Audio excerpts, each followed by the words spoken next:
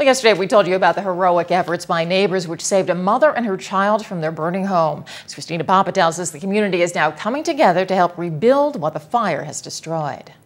Meet Amanda Yannick, her husband Robert, and their five year old daughter Riley. Yesterday, their lives were turned upside down when their home in Hazleton caught fire. In a heroic effort by neighbors in Hazleton's fire department, Riley and Amanda were rescued from the fire. The two were admitted into Lehigh Valley Hospital to be treated for smoke inhalation and have since been released. Today, the family can't go back to their home. The house sits empty here on Diamond Avenue after the fire destroyed all their belongings inside. Couldn't. I just looked at it and it was just all burnt, and I was thinking that, you know, that's a home. That's a home just like the home I live in, and, and that now they can't live there anymore. Sherry O'Donnell has known the family for years. She's little Riley's dance instructor. Great mom and dad, always here at dance with her. Riley's here faithfully every week with a big smile on her face, and um, just just great people. Cutest little girl ever. She comes every week, tries her hardest with a smile.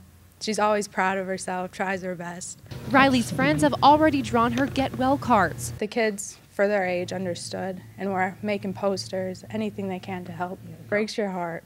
Like it makes you just want to cry, especially for little Riley, only five years old. Riley's not one to miss dance class, but while she recovers, her dance studio is hoping to raise funds so she can have the Christmas every child deserves. The dance company has begun to enlist help from other families. Her teachers say the families are concerned and want to help. We all are grateful for the blessings that we have and when you see someone that has gone through something like this, uh, listen, even if it's a small donation, we can all give something. If you would like to donate, you can drop off items at the dance studio or just call the number at the bottom of your screen. When they come to the dance school, if they want to donate gift cards, cash, clothing, anything for them, um, they're just such a great family and have suffered this terrible fire. Christina Papa, News 13, Hazleton.